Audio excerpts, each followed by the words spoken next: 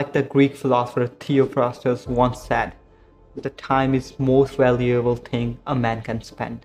Let's start considering 86,400 seconds we have been offered every single day as the money lying in our banks and spend every single second wisely the same way we spend our dollars. The goal is to live our life to the fullest, live every single moment to the max. So once we are old and reflecting our life back, we don't have any regrets on the wasted time.